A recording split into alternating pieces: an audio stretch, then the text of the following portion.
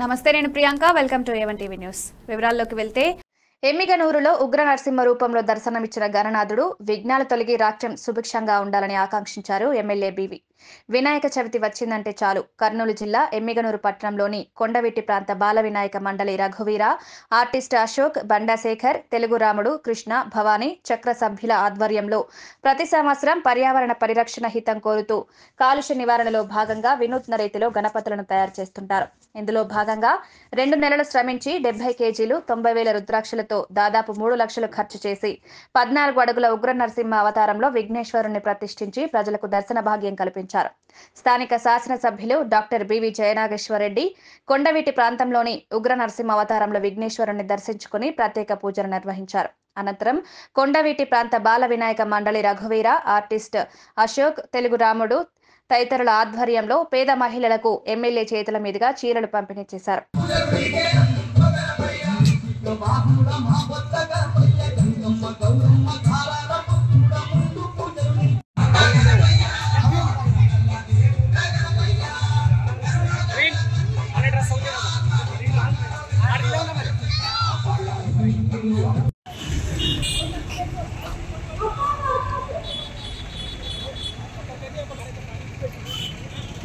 Yeah.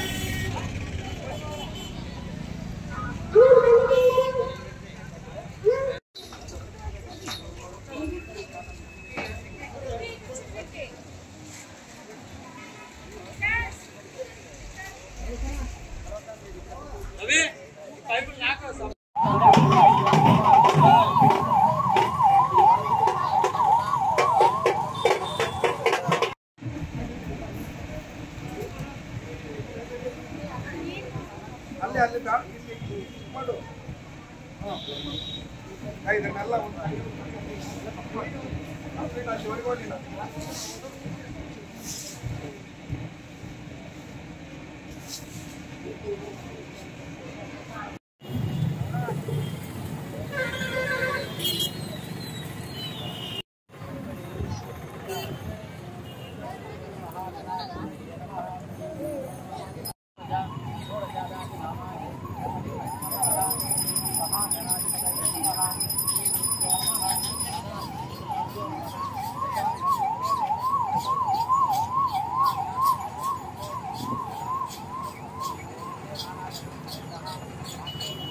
కాకుండా రాష్ట్రంలో అందరూ కూడా వినాయక చవితి పండుగని ఘనంగా జరుపుకుంటున్నారు. ఇక్కడ నేను నిలబడినటువంటి ప్రాంతం కొండవీటి ప్రాంతం. కొండవీటి ప్రాంతంలో మా ఎమ్మెగనూరులో ఎప్పుడు కూడా ప్రతిసారి వినూత్నంగా వినాయక విగ్రహాలు తయారు చేయడం అనేది సాంప్రదాయం. అదే రకంగా ఫోటో పోటీ పడి చాలా చక్కగా ఏర్పాట్లు చేయడం జరుగుతుంది. ఈ సంవత్సరం నరసింహావతారంలో ఉన్నటువంటి రుద్రాక్షలతో చేసినటువంటి వినాయకుడిని అతిపెద్ద వినాయకుడిని పెట్టి మరొక్కసారి వారు మేము ప్రతిసారి మేము చేసే వినూత్నమైనటువంటి వినాయకుల్లో ఈసారి ప్రత్యేకత చాటుకున్నారు. మరొక్కసారి ఇక్కడ ఉన్నటువంటి కమిటీ సభ్యులందరికీ కూడా శుభాకాంక్షలు తెలియజేస్తూ సర్వ విఘ్నాలు తొలగించి వినాయక స్వామి ప్రజలందరికీ కూడా మా ఎమ్మెగనూరే కాకుండా రాష్ట్రంలో ఉండే ప్రజలందరూ కూడా సుఖ సంతోషాలతో వారందరినీ దీవించాలా? మంచి జరగాలని కోరుకుంటున్నాను